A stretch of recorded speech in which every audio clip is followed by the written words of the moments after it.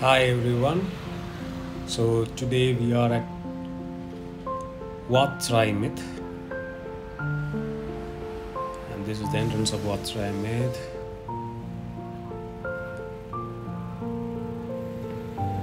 that is the main temple.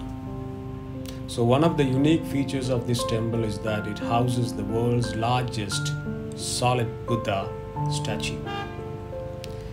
So get into that one we need to t- take the ticket and that's our ticket counter. So for each person it's 100 baht. So let's take a ticket first.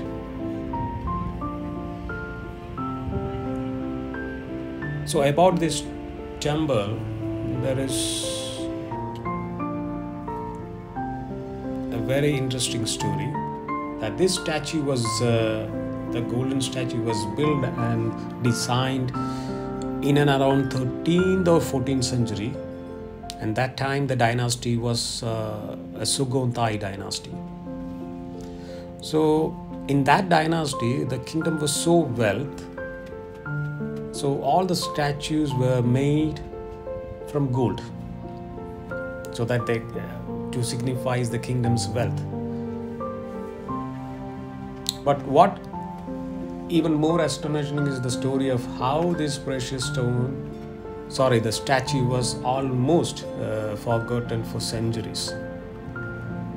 So here is that story. In between 15th and 18th century, there were several wars uh, wages between the Siamese and the Burmese. So at that time, Siamese be Siam and Siamese is uh, the people who lived in Thailand and Thais. So Siam is Thailand's oldest name, and Siamese is what they have called the people who live in that place.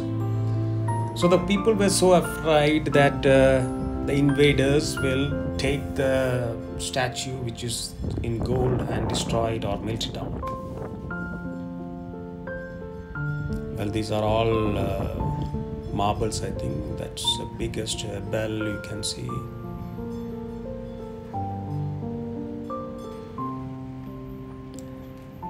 That's the entrance and behind that is where the golden statue is there. Wow it's so stunning.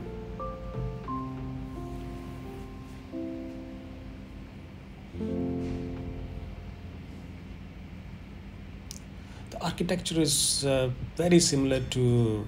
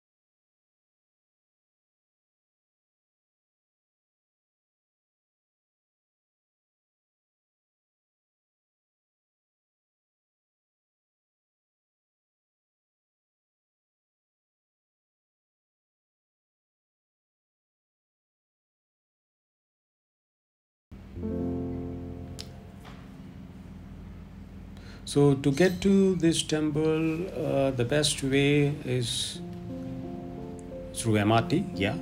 So you can get off the Hua Lamphong station, exit one, which took you out opposite the rail station and a junction, and from there to the temple is very near.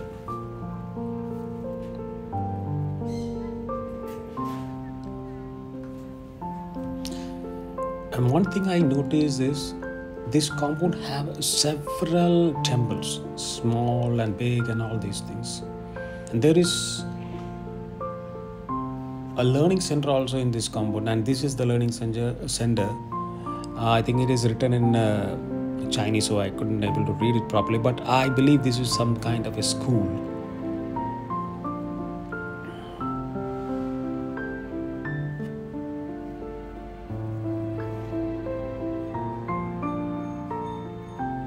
So in Thailand, uh, as you know, that temples are called as wats, and uh, monastic life is highly respected in Thailand. Uh, you can say that some of the boys often become monks for a short period as a rite of passage. I've seen this influence of Buddhism is evident in this landscape.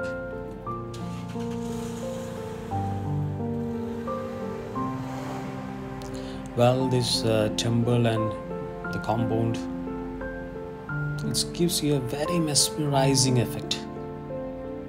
And that's a lot of flowers. I don't know what is those things but they are well treated and well kept. And that is a small shrine. Uh, i believe that is buddha's shrine.